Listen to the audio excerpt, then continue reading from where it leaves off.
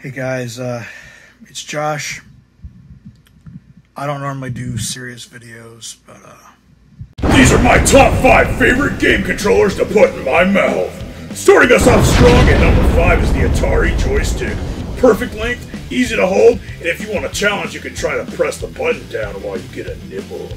Number four is the classic, the SNES controller with its smooth, round design. It just feels so good to chew on. Oh! Number three. Three reasons. Boom, boom, and bang. These girthy handles are made for sharing with a friend.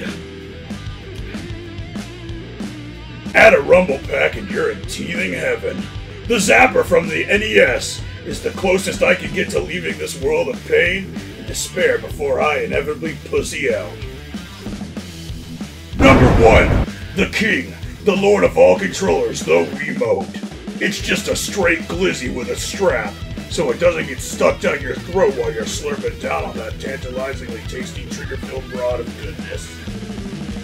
And if you're a glizzy gladiator like me, you can add the Motion Plus for some extra inches.